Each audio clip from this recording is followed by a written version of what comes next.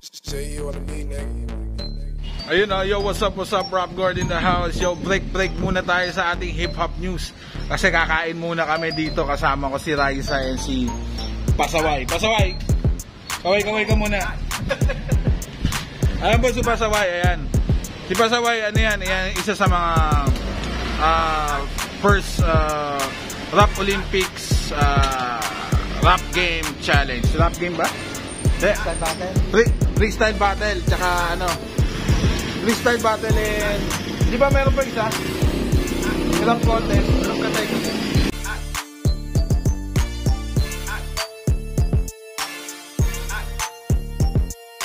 Group category. Yan, dati, dati, dati mo, payat po siya dati. Kaya, nakita niyo na, katawan niya ngayon. Bilugan na. Pero paano yan? Businessman yan, mga si Pasaway. Galing din ng Donggalo yan. Kaya hindi tayo na mawawala sa ano sa sa hip hop pa rin. Kailangan ah, nasa hip hop scene pa rin tayo.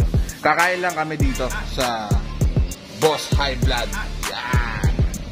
Kay Boss PJ at yung may-ari niyan ay ano yan, hip hop din. Yan. Mamaya, mag-interview tayo ng ah, kumakain.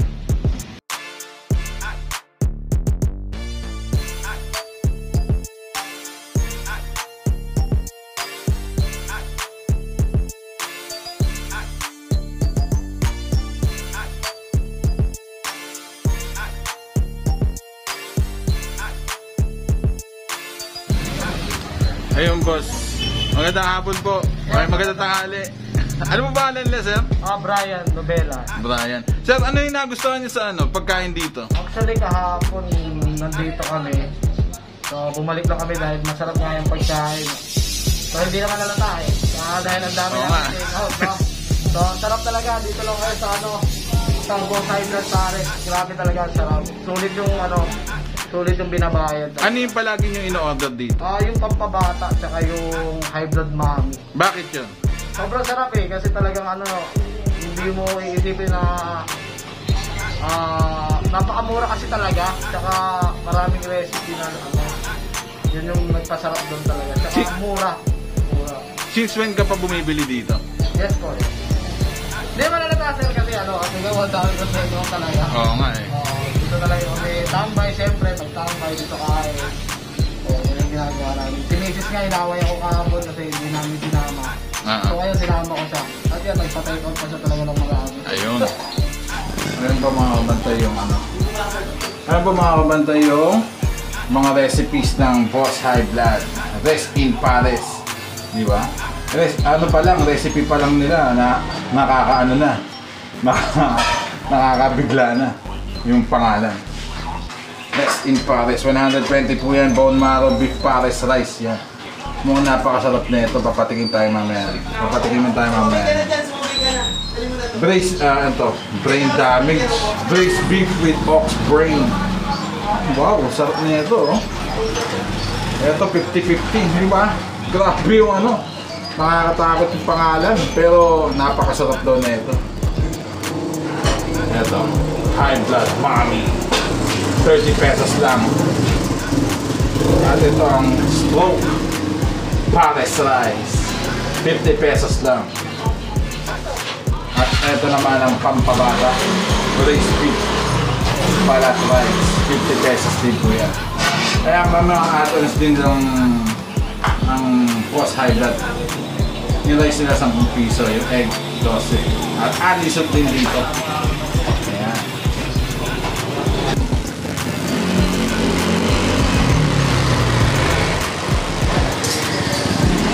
Ayan yung bone marrow, oh. Ay, sinusunog yan. Meron siyang pasunog talaga. Ang to utak? Ah, balot. Bagong recipe ba to, balot? May mga na siya mga 2 months.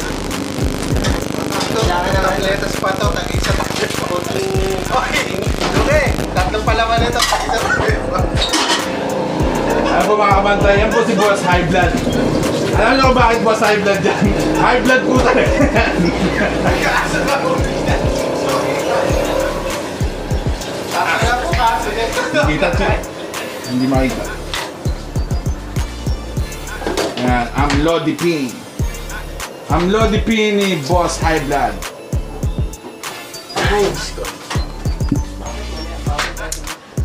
Okay, uh, good afternoon. Welcome to Boss Highland, uh, Florencia Branch. This is PJ from uh, Caloocan, 10th Avenue. Uh, ako yung owner ng Boss Highland Paris Mami. Then, ang yung business ko, uh, nag-start siya 2 years. years na. Um, February 5, nung nag-start ako bilang isang vendor sa 10th Avenue. Then, basic Paris na Paris card siya na tinutulak. Then, ayun. Siguro naglast ako. Until then, nandun, nandun pa rin yung ano ko, yung mga cards ko. So, ayan, six branch. Uh, located siya sa, sa Tent Up, sa Handaan, Monumento, ito, Florencia branch.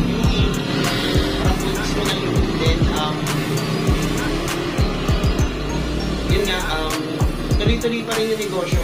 Mga sa ano, um, medyo minsan down ngayon, pandemic, pero still, hindi reason yung pandemic para pangyayaran tayo ng loob. Kailangan na strive pa rin tayo. Isip tayo ng mga bagong idea o kaya mga para uh, mag-exist yung ano natin, negosyo natin. Balita pa kaya? Okay. Ah, Boss PJ, yung, ano yung mga naging ah, problema mo yung nagsisimula ka pa? Basically, sa isang street vendor, kung mga kalaban mo dyan, mga huli, mga like, nire-raid ng mga MMJ, nire-raid ng mga STM, mga clearing operations. So, talagang for one year, talagang hirap ako. Pero hindi ko sinukuhan. Nandun yung, nandun yung mga time na natatapon na yung mga paninda mo, na natatapon na na inuuli ka, i-impound yung mga card mo. So, nung una, hindi ba naging mahirap para makilala mo sa ah, mga customer ng uh, most hybrid yung No, Paris? good question yun. Siyempre, um, kung bago ka lang, talagang kailangan makilala ka. eh. Like, yung mga matagal ng mga nagmamami dyan, sa Death Avenue, sa Lakay, sa bayan ko. So, siyempre, kailangan, para sa akin kasi, ang, ang isang, kumbaga nagtitinda ka pa. Kahit ano pa yan, bigyan mo lang sila ng good customer service. Yun lang number one.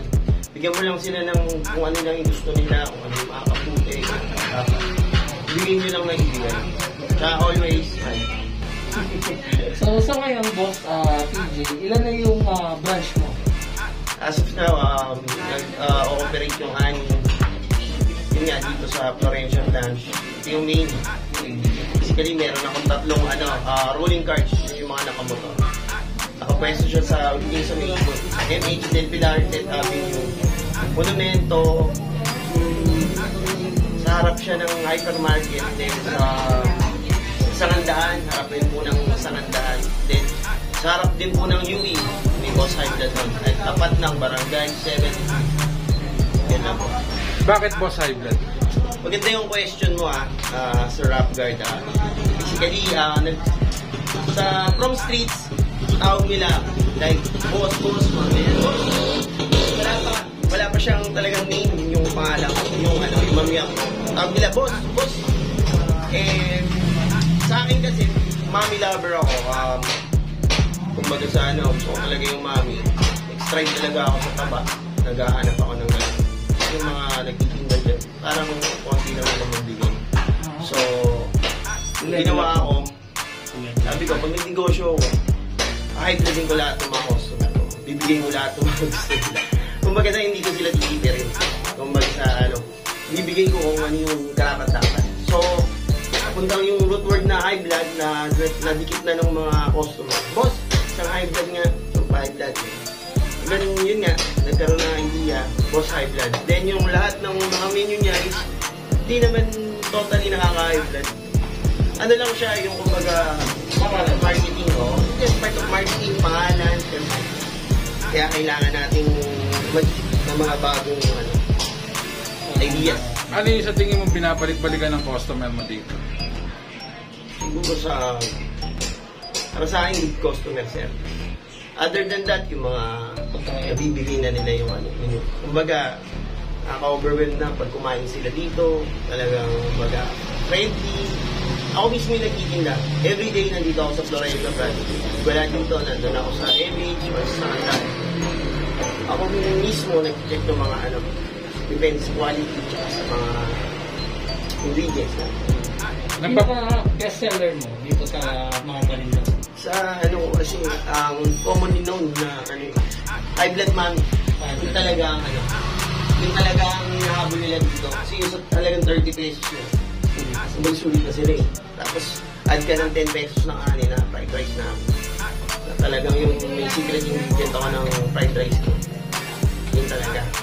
The best. Tapos, sumunod na dyan yung pampabata. Yan, yung nila. Balbakwa po yan. Balat po ng baka. Then, the rest. The rest is stroke pares. Yun na lang po. Guys, amigo. Tapos ah, mapapayo mo sa mga gusto mong mag ah, pares business. Pares business. Pero ano? Pinawisan ako. Ano? Um, kailangan yung dedikasyon mo, laging nandun.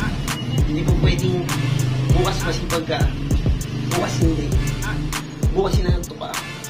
Bukas sipag na sipag ka. Kailangan yung ginagawa mo sa araw-araw, consistent. Kumbaga, yung flow mo. Kumbaga, kaya mong gawin yung hustle na sinasabi nila. Kumbaga, hindi yung hustle na pang 6 months, 1 year, kailangan tuloy-tuloy. Kasi ito yung magiging bread and butter. Huwag mo, kailangan seryosohin mo lahat ng ginagawa. Focus mo, kung mo sa panaginip mo, isipin mo yung negosyo mo. Bago ka magsimula, isipin mo ng 10, 20, 30, 40. As research, tapos huwag kang mapanghihinaan ng loob. Kasi ano yun, yan yung pumapatay sa mga negosyante. Kahit ako minsan nakaka-depress. Uh, part yan, part yan ng negosyo yan. Kaya ka binabayaran yun. Part naman may stress ka. Kasi lahat naman dumaraan yun sa failure. Sa, ano. Depende sa'yo kung paano mo gagawin this factor. Lalo na ngayon pandemic. I-execute yung ano. Ngayon pandemic talagang down ang sales. Pero kailangan natin pursue. Kasi itong hindi natin negosyo para sa akin, passion na. So, all my passion yung ginagawa ko dito. Baga masaya ako sa ginagawa ko sa uh, ka, pag ano ka, bukas sa palengke, ako dito. Ano ka dyan? So may posibilidad ba kagaya ngayong pandemic na tumanggap kayo ng mga ah, delivery? Of course, oo. Uh, we look forward pagdating sa ganyan. But still, uh, nakafocus ako ngayon sa mga rolling carts, sa mga street food. Yun kasi ang ano yun, yun ang basically na industry ng tao. Yung ng ating kumbaga sa halagang 40 pesos, 30 na mami, 10 pesos, bugod na agad sila. Actually kasi nasabi ko yun kasi nga gawa ng pandemic yung mga takot lumabas. Hmm. Kaya uh, tinanong ko sa'yo if ever ba na Siguro, uh, direct direct message nyo o Message. pagka ano, sa Facebook ko na lang, sa Regala or Boss Island for inquiries. Especially, uh, ito nga pala, introduce ko for franchise. Okay, Yeah. for franchise. Okay? Sa lahat ng mami lovers dyan, takot mag-execute, kinakabahan, hindi nila alam kung paano mag-start. PM me. Ah, high blood yung kayong lugar nyo. Okay? hindi naman, oh. Last, last question ko. last question? Ah, meron naman last question ako. Kinakabahan ka ba sa last question ko? Taray tayo. Ayan, ayan. Pulas lang ako ah. Yung ano ah. Ayan, sa tinagal-tagal mong ano. Ito ano lang, ah, yung parang trick question lang. Trick question. sige, sige. Sa tinagal-tagal mo nag, ah, nagbebenta ng pares, no? Ilan taon na? Two years? Tama Two years, years. Ilan na yung naging chicks mo? Chicks. Hindi, inahin ba yan o... ano? Hindi, okay lang naman kung hindi mo sasagutin. Hindi, sagutin Hindi, hindi, hindi. Oo, Ah, kung ayaw mo sagutin niya, eto na lang. Sa lahat na naging chicks mo, sino pinakamaganda? ano? Na, ano yung sa akin, ang, ang, ang isang chicks ko lang yung misis ko. Yeah. Si Nika. Tsaka yung isang kong anak, si, si yan, Danica. Ayan. Tsaka may baby ako. Shout out sa aking team Regala. Wala akong ibang shout out. Dalawa lang. Ay, tatlo lang. Yung team Regala ko, nanay ko, um, asawa ko, baby Kian, um, Sian. Tapos syempre, my roots, bad boys. Yan. And especially, shoutout sa maraming salamat sa Monumento Clan. Yun. Kapag video clan. And syempre, Rap Guard. Ayan. Mm. Yun, oh, peace out. Ayan, si Boss People is in the house. PJ, PJ Regala. Boom! Pa, pa, pa, pa.